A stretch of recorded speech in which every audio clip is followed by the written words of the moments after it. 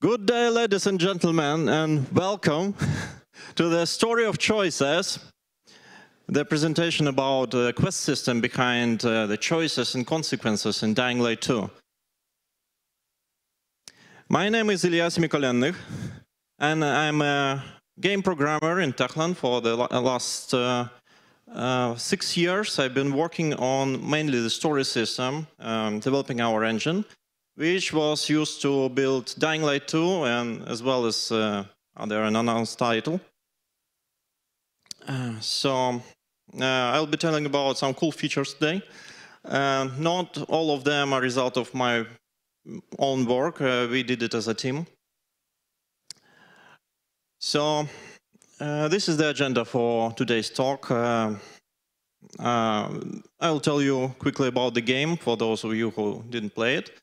And then we'll see where we started and uh, what we had to deal with, uh, what were the requirements and stuff. and also we will consider all the subsystems on its own. And if you happen to have any questions, please, please leave them to the end of the presentation. So, Dying Light 2.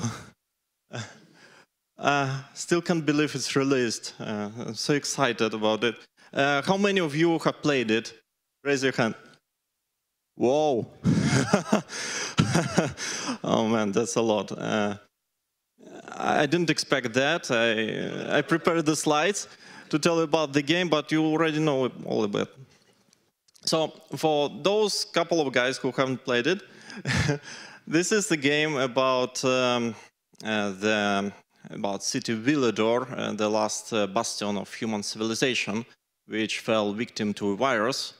And you play as a lone survivor, and you use parkour to move around, to jump on the roofs, uh, and that gives you the edge over the other the infected or the other survivors. And um, you also do melee combat and stuff, and this game is packed with action. But this time, uh, as, that was also in Dying Light 1, right? But this time we also wanted to give special attention to the story.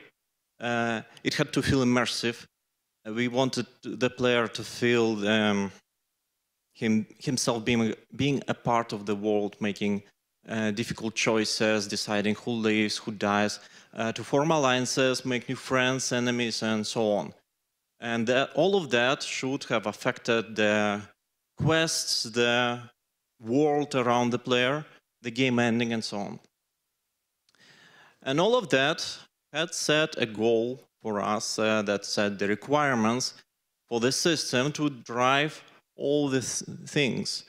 Uh, first of all, of course, it, uh, the quest, they had to be non-linear.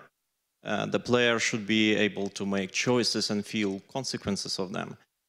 And uh, all of that, we predicted the whole thing to be quite complicated, so we had to use a special editor and better, it would better have debugging capabilities. So you can attach to the game and see how it works inside of the engine. And I'll see you how it's done uh, recorded some videos for you. And then we also wanted to quickly iterate on the quest, see what's working, what doesn't. And uh, also, just as every game, it had to be tested vastly. And we, when you have so many choices, when uh, the story develops in such a not predictable manner, uh, those choices stack up on top of each other. So we wanted to test uh, every bit of them, at least to try to test the most of it, right? up to our limit. Uh, as well as Dying Light 1, it had to support uh, four players, seamless co-op. Uh, I'll explain the word seamless later on. And of course, all of that in the open world. Right. so, let's see where we started, what uh, writing quests used to look like in Dying Light 1. Uh, as you can see, it's all pure text. It's mostly linear. And of course, you can make a great game using just this. But uh, our ambitions had set a goal for a better tool. So we had to start from the scratch and write something, something good. Meet the story editor.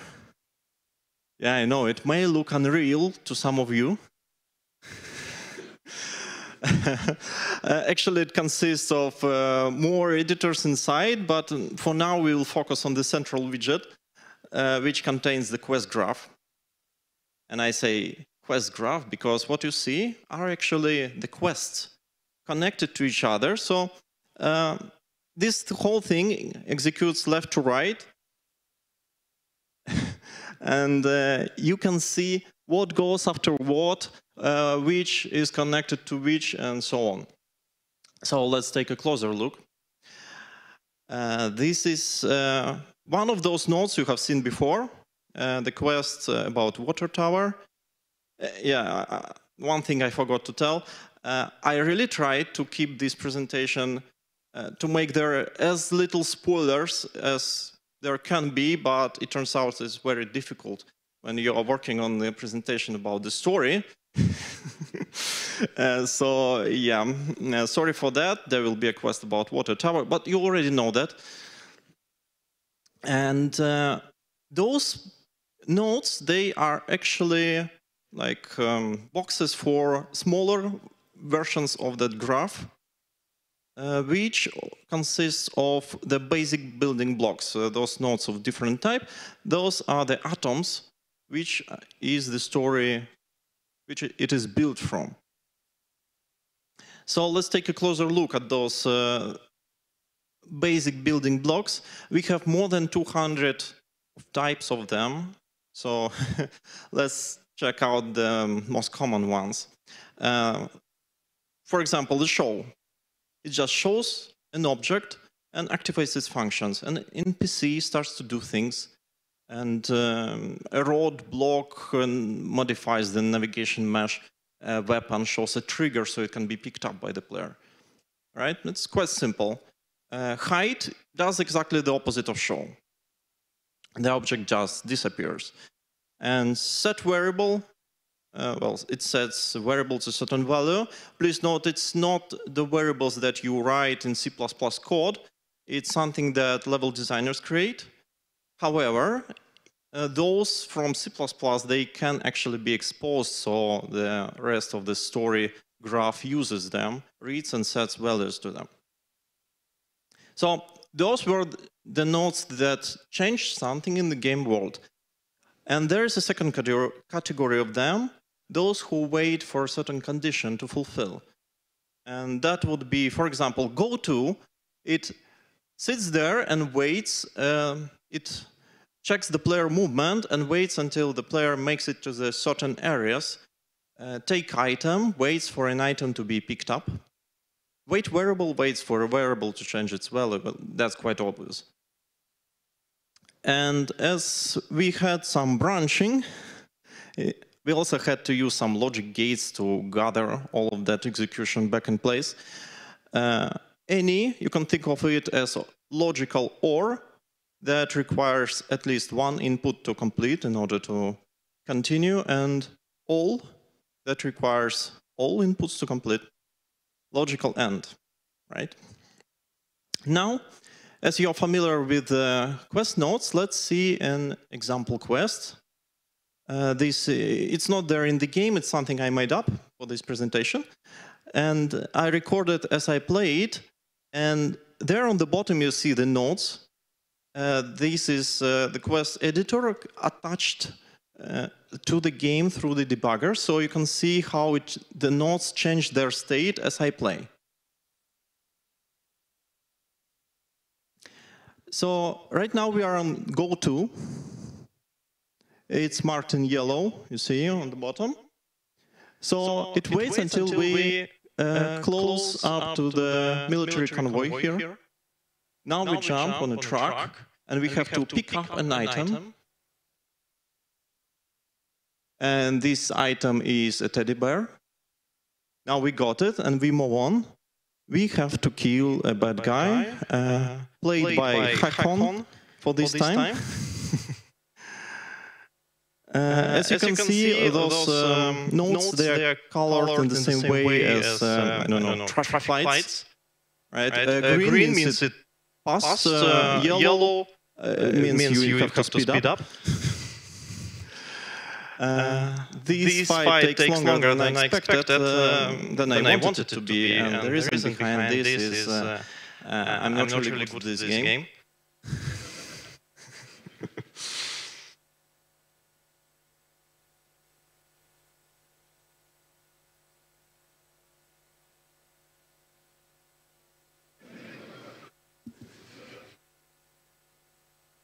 All right, All right we done, done it. yeah. So you just seen a very simple quest, a very simple graph behind it, and uh, the cool thing is uh, the rest of the story is not very different. I mean, uh, there are there are more exciting things happening, but it all looks quite simple. It looks similar, and that was one of our goals.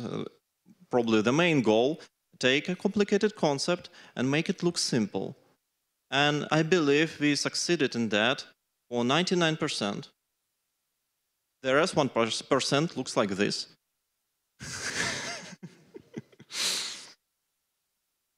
or this. uh, all right. So, we got our uh, quest system running good for a start. But we don't expect the player to complete the whole game in just one gaming session, right? Uh, so we have to implement another system, subsystem, which is there uh, in every game made for the last decades, with uh, an exception of the Minesweeper, which is great even without it. Uh, of course, I'm talking about the saves. So how do we do that? The problem is, even though it is there in every game made ever, there's no universal approach to it. Nobody knows how to do it.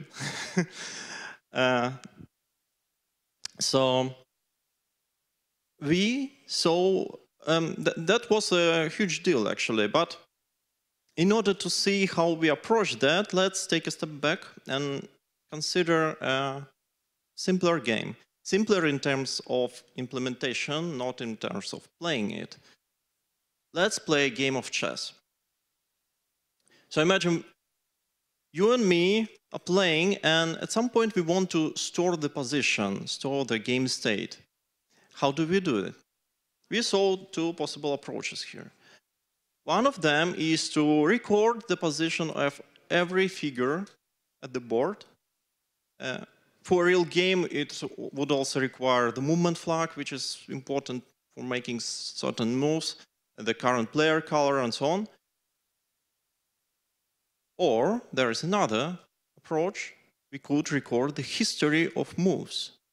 Now, when we it comes to Dying Light, uh, the first approach is saving every entity on the level and the, its state and the second approach is what we chose. Meet, this is our movement history, moves history. Uh, it's called call stack, but for this presentation I will call it uh, call history. And instead of game moves, it contains uh, uh invocations to the quest graph. It describes how nodes in the quest graph changed their state. As you just start playing, it's practically empty. But as you continue, it contains dozens of thousands of entries in the epilogue. And this is what city in the epilogue looks like. So I mark the invocations to uh, calls to alter world. Those are the nodes in charge of showing vast global changes like cities collapsing So let's take the call history and save it to a file. And when we want to continue with the game, we load the file and apply all those calls in the same order to the graph. Nodes change their state, uh, and we forcefully complete them. For example, Alter World, it doesn't even know we load a save. It just executes, destroys the building to the ground, so we get what we, what we used to have before making a save. And also there are uh, nodes that wait for a condition, for example, take item. Now it gets forcefully complete, TED, and it picks up the item for us, just as we did it. Uh, some of you probably noticed my obsession with teddy bears.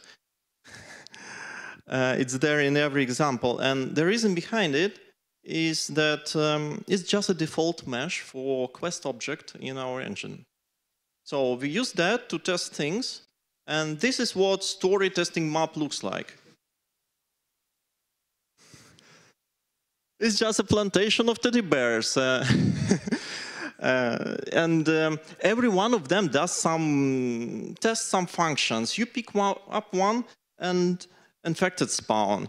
You pick the other, uh, weather changes, and so on. So let's summarize what we've done. Even though, as I said, the, the problem is as old as the, the world is, the, there are numerous ways to approach the deal, and we got inspired by this thing that we can just save players' actions instead of saving every possible thing. Uh, and uh, that means that the story state defines the world state. It's quite a beautiful conception, in my opinion, and uh, that was the turning point. That was the most fundamental thing in our uh, engine, and you will see what cool things can be done with it later on. So let's talk about iterations. Uh, now, as we got our uh, story system, the saves, we have the skeleton now it's to be filled with content. How do you iterate on the quest? Uh, when it's just one quest, it's not a big deal, right? You just start the game, load a test map, play it and see how it works. But what if your game had 20 hours more uh, gameplay of just the main storyline? uh, I'm not even talking about side quests or facilities or stuff. So how does it look like? You start the game oh, and you're here in the prologue. And now let's say you want to test a quest which is located here. Look, it is there on the branch. You don't even know if it will show up. It depends on the player's choice. How do you do it? We saw three different possibilities. Let's consider them one by one. The first one, the simplest one, let's make a small test map implement our quest there, test it, and when it's done, we assemble it with the whole thing. Right? Uh, quite a simple approach. Actually, we did things this way sometimes, but turns out uh, things get complicated when there is branching, when there are multiple quests related to each other. What do you do with this? none of these quests make sense on just on itself, right? They're so deeply connected. Uh, and also, as we are in, every one of you works in game dev, you know that there is no such thing as being done, being complete. Things change over time up to the last moment, so that wasn't a no-go for us. I mean, sometimes it can be used, yeah, let's mark it as sometimes you can do it, but we wanted something better. There's another thing. Let's turn on the, say, uh, the cheats, right? Let's hack our way through the infected, uh, teleport where possible, skipping dialogues. Let's speed run the game to the quest we're interested in, make a save, and then use this save as our starting point for the next iterations, right? Wrong, because remember our old body calls history? It turns out it's allergic to sudden changes of the graph. Uh, look, I, marked there uh, the calls which are related to that uh, part of the quest.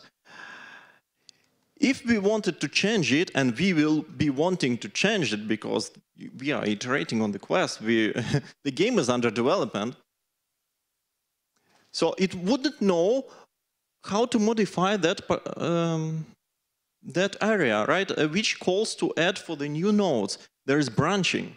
It wouldn't know which way to choose. So this thing kills the whole idea of iterations. Our earlier decision about uh, this using call history limits our capabilities to use saves as the um, tool for iterations. But what if we don't need to? Uh, let's take a step back and imagine we just finished the pro um, the we are in the prologue. We just started the game. When the initial cutscene is over, you're standing on top of a cliff with your very first goal to reach another character who is standing slightly above you. And this is what the quest graph looks like. You see a bunch of goal tools. The game watches how you move. Let's say we want to make it a few steps ahead to this node. So how do you do it? It turns out everything you need to do is to make go-to to think you already made it. You are already there. So it passes the execution further. Those node comes complete instantly, and you make it to the target node, right? So we made just a few steps ahead. But if you can make a couple of steps ahead, we can also make a couple of thousands. The algorithm is as follows. You point the place in the graph where you want the story to be, and then you seek all the way back up to the actively currently active nodes. That will provide us with a path. And then you execute all the nodes along this path in the same manner as if we were loading a save. So they complete, and we get the game state we desired. In order to nicely mark the moments where we will uh, scroll our story more often, we implement point of interest node. We can give it a name. Uh, players respawn, so he appears in the desired location. And later, this is how it looks like in the game debug menu.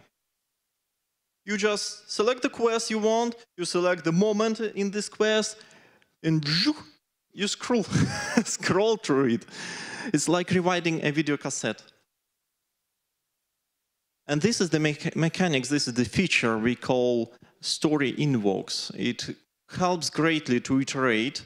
It uh, allows to skip the entire parts of the game and making it uh, up to the very end uh, just like that on in one frame.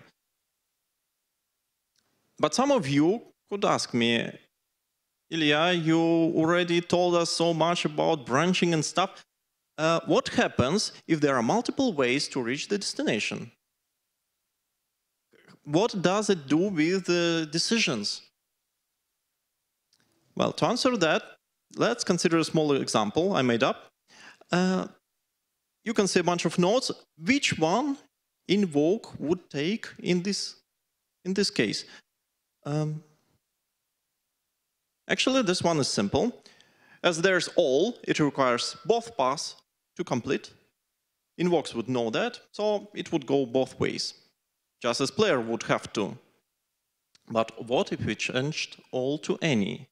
Now it has to decide. It becomes a classic example of a fight or flight choice, right? Now we have to approach the problem in a manual mode. We have to, we declare two choices, fill them with actions telling which way uh, to approach this any from top or from the bottom, and then make it to the point of interest. You can think of it uh, as of Google Maps. Look, there are two possible ways to get to this place uh, from Techland Studio located in Wrocław. But instead of choosing our way in Trzebnica, like we would normally do, we mark our destination by um, marking different entrances uh, to Poznań.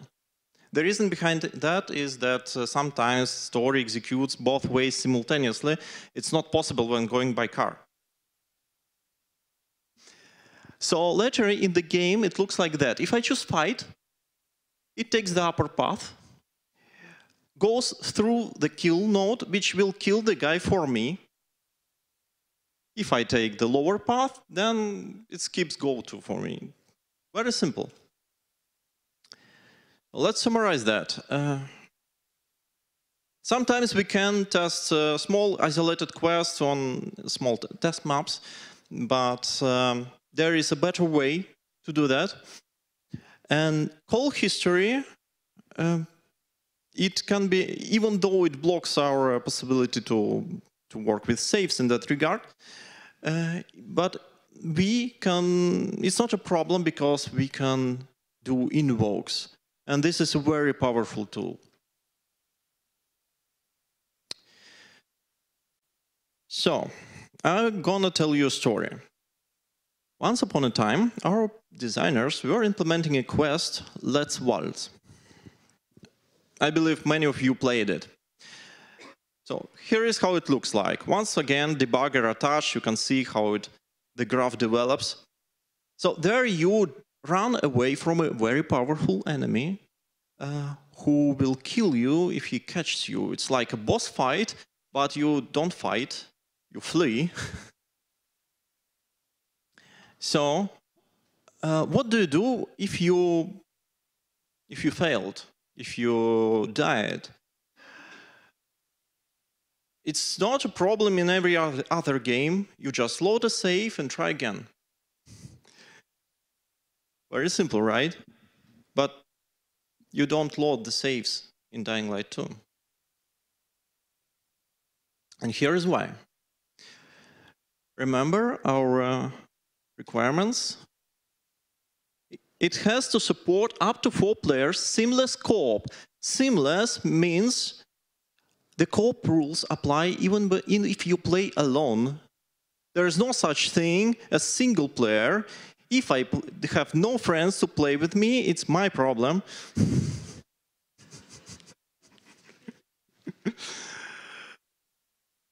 so, this is what dying in uh, co-op looks like. Uh, once again, I played with myself.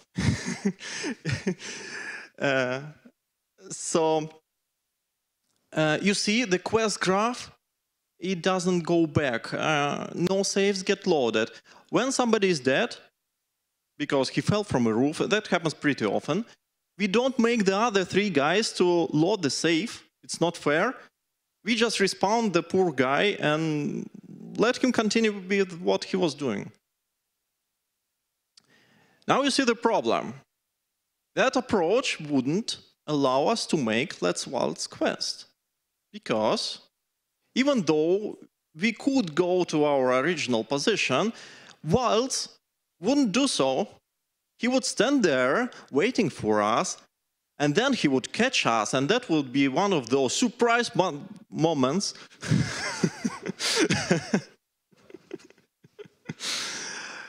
so we have to go back in time.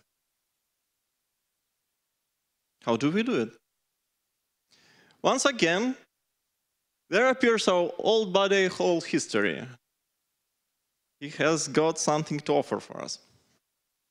Let's try to go upwards in it.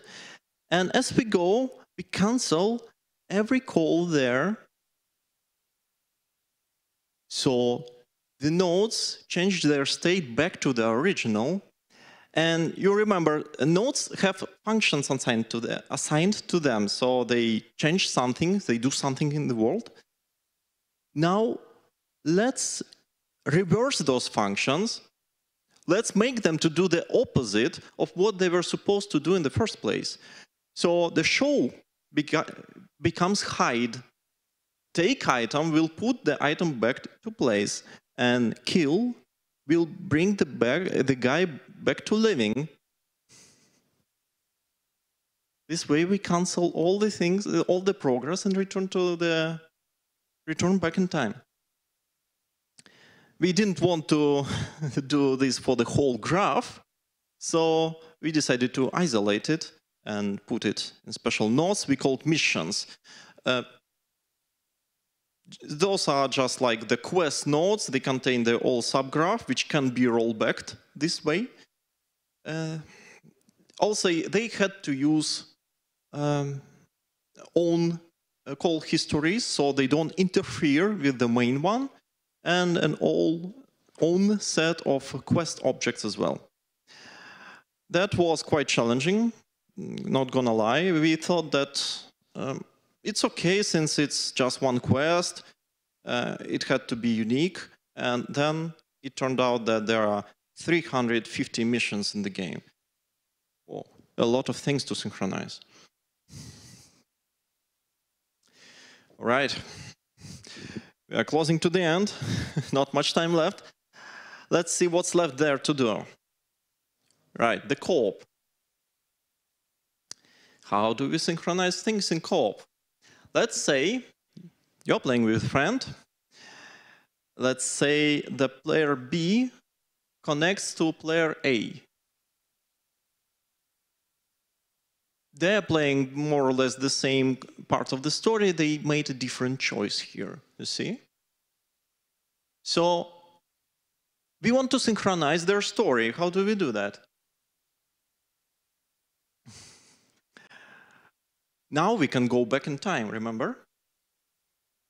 So we roll back the things that we don't want to be there and invoke forward for the things that we want to be there. And this way, we make the picture look alike. But what's about the quest objects? How do you synchronize entities on the level? Once again, several ways to approach the problem. Leave it to the networking team.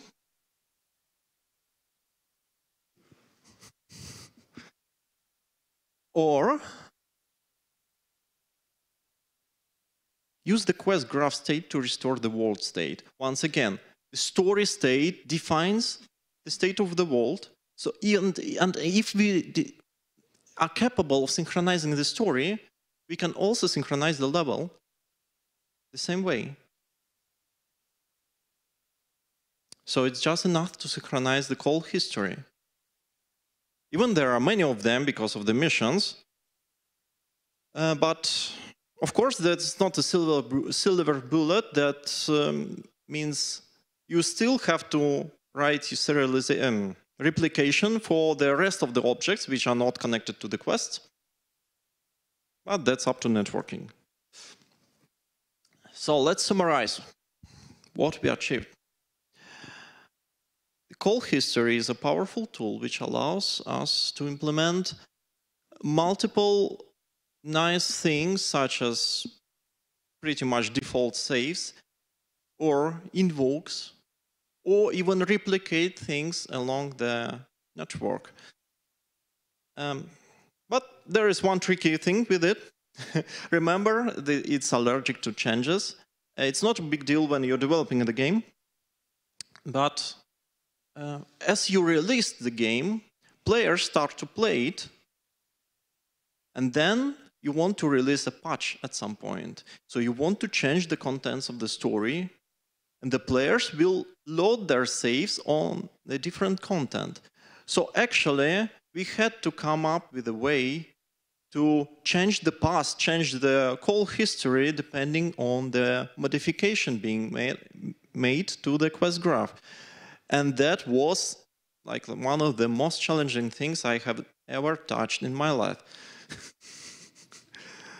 But we did it nonetheless. And this is it. Thank you.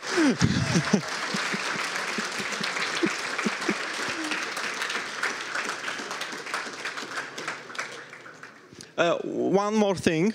Uh, I would like to invite you all after this talk or whenever to Techland's booth. Uh, so if you liked what you've seen, if you want to be a part of it, or if you want to make uh, new awesome things with us, uh, please come and talk, and I will gladly answer your questions. Uh, and some of the questions I can answer just right now.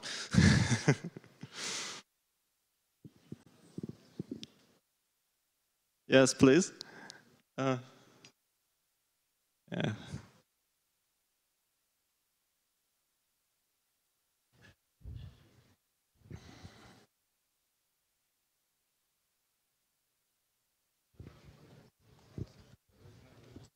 One, two, yeah, okay.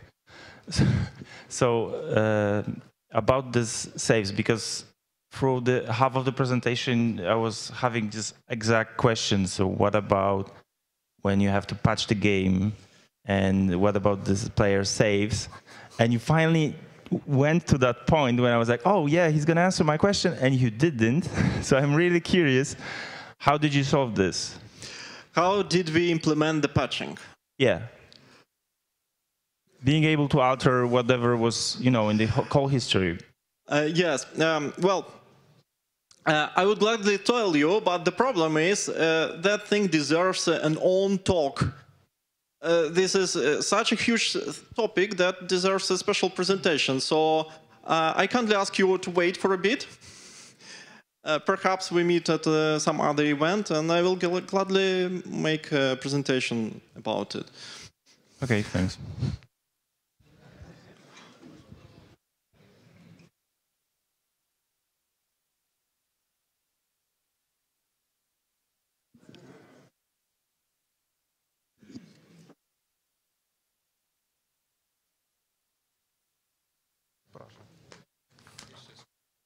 Hi.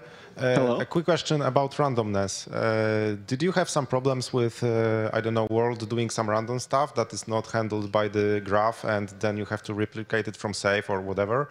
Like spawning random zombies at random locations and then you have to save it and... Yeah, but it's not story related, right?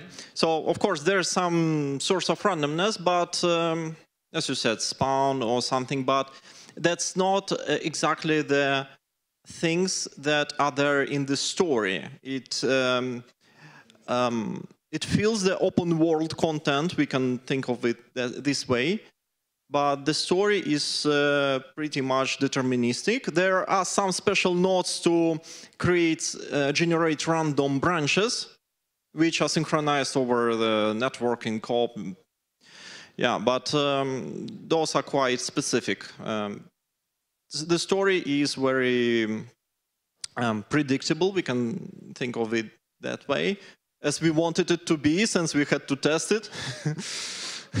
Those branches and add randomness, and it explodes, you know.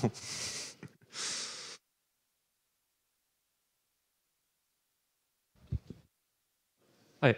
Uh, I'd like to ask you about navigation. How do you navigate in this tool to uh, get into the, you know, for, for, example, let's say you have to patch the game uh, with in some quest. You don't remember this quest anymore because it was developed, uh, let's say, months ago. And you have the big picture. How do you zoom out? Uh, how do you find the quest you have to fix? You know, I had to write finding. um so we can search in this uh, quest graph by uh, different uh, stuff, such as um, uh, quest mm, entity paths or um, uh, node types or even specific attributes. We can find everything that contains such a field set to true or, something like that. Uh, quite an advanced part, searching that helped us. Also, we did um, uh, reference finding. So you can uh, could pick any object on the level or anything in the quest graph and see how it's connected to, to, to, to the rest of the game, the rest of the story.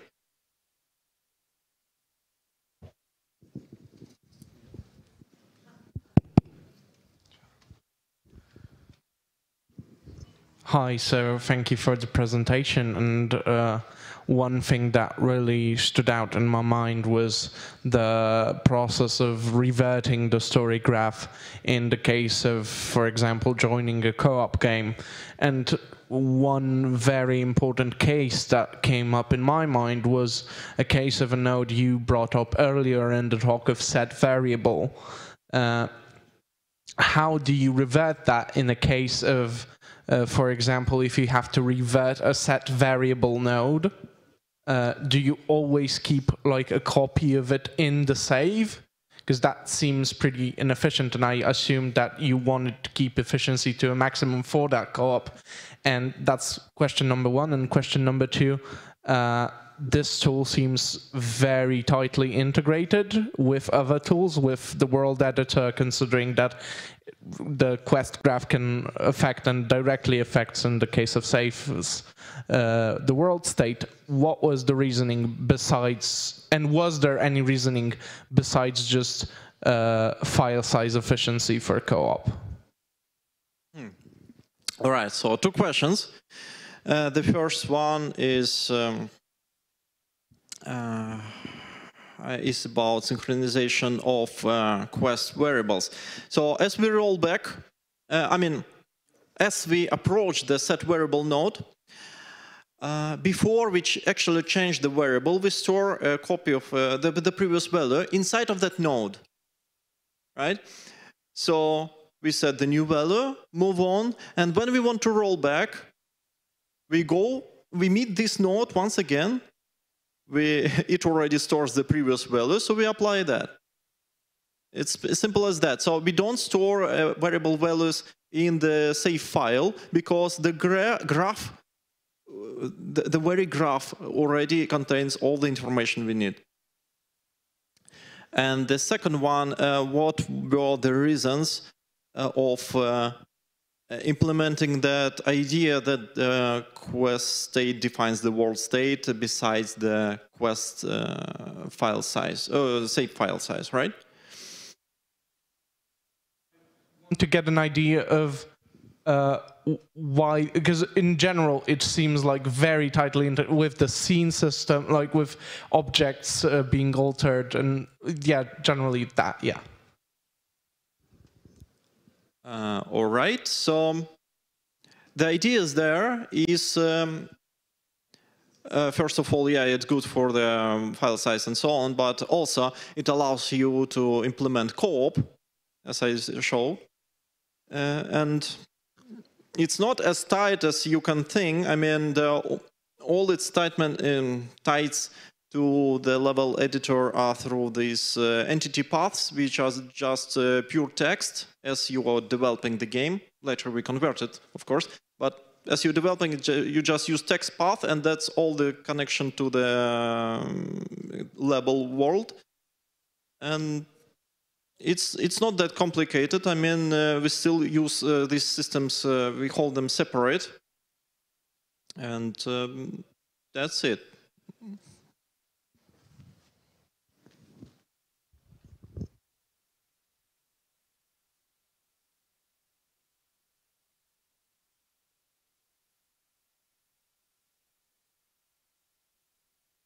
Uh, hey, so as somebody asked, um, uh, men you mentioned that the system was tightly integrated with the game, and I wanted to ask how many other tools were um, influenced by this approach. For instance, did you use this kind of like call stack approach with a list of actions in the uh, in the tool that controls the dialogue sequences? Uh, do you mean the debugger? Like, uh, where did we use uh, the debugger? Uh, yeah, because because it it looks very convenient because you can always rewind it, rewind the time and also see uh, how the actions apply in the game in different like uh, paths.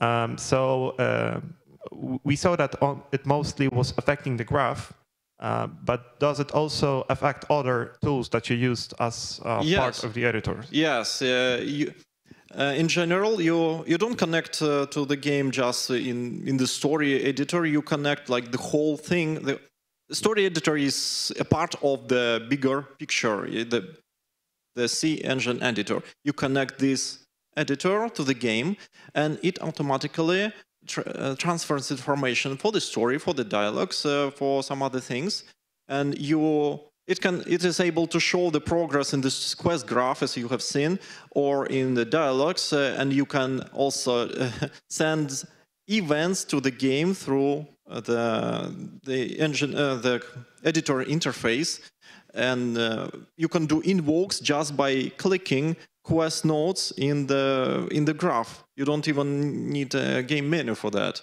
Just click and you got there. So it's vastly used in several subsystems.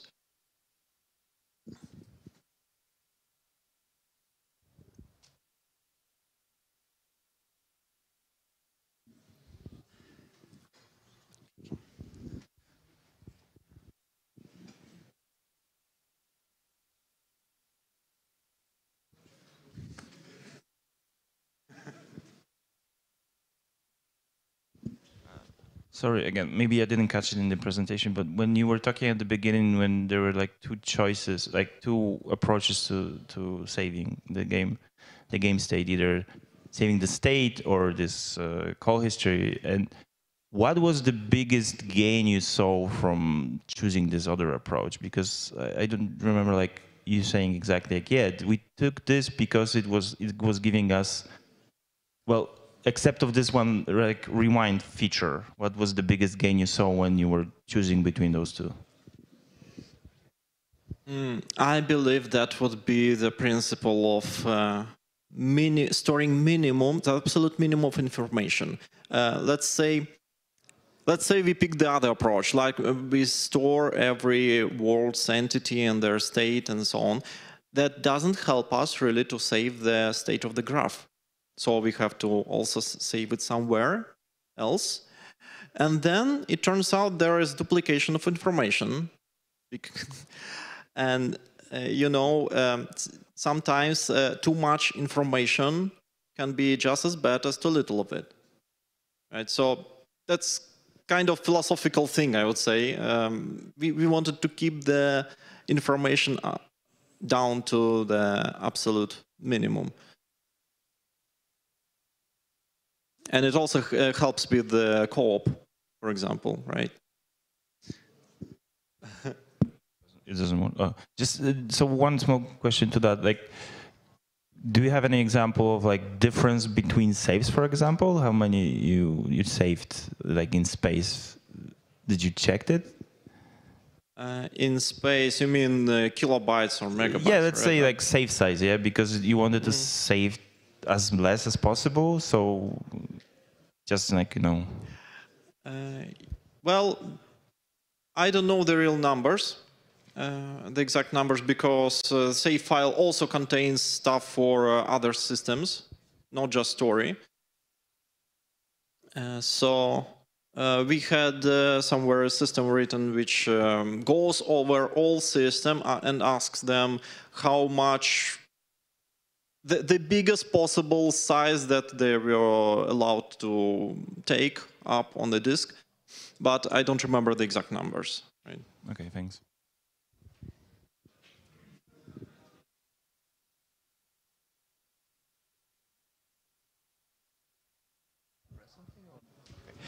Uh, hey man, thanks first for the talk. It was very entertaining and very cool also to see some in-engine examples. So Thank you. very nice.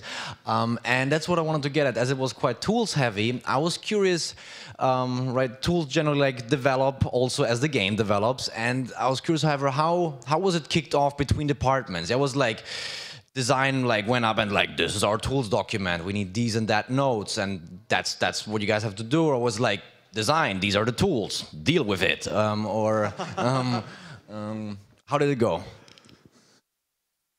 Uh, well, that's just my perspective on it. We got our designers sitting there, and uh, this is a good starter for a talk at Techland's booth,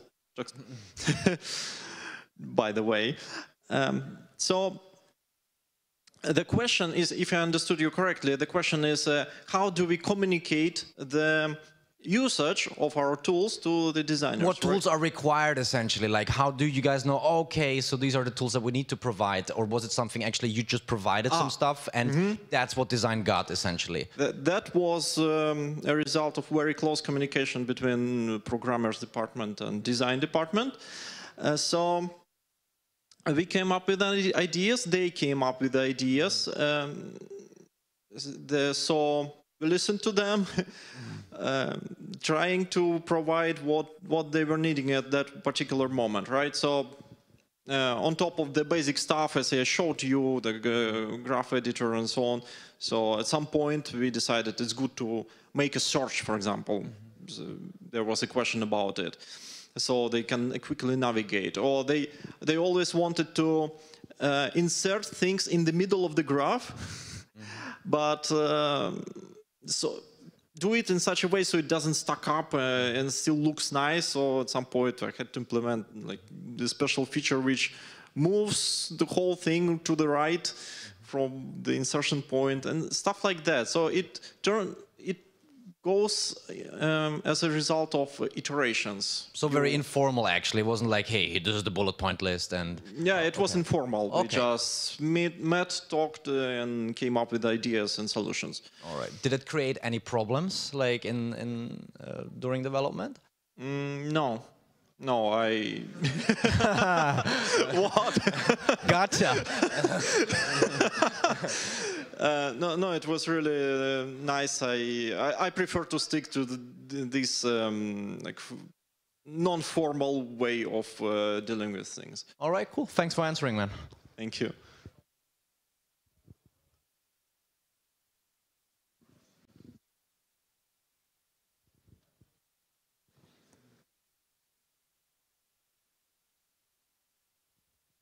Thank you for the presentation. Uh, you developed a very advanced system. I'm wondering, uh, do you have any automated tests or some automatization testing uh, th- that utilize this solution? Thank you. Yes, yes, we did. Um, that's also a good uh, topic for uh, another talk. But long story short, we uh, had um, QA engineers who implemented uh, um, bot uh, who was traversing the quest graph and playing the game, like uh, trying to to portrait a player as the player wo- would be playing it and uh, it um, traversed the graph, teleported, di- skipped dialogues, and um, tried to play the game actually, and tested that in that in that way. Um, and of course, unit tests to test the, the functions. Um, that's that's a must, right?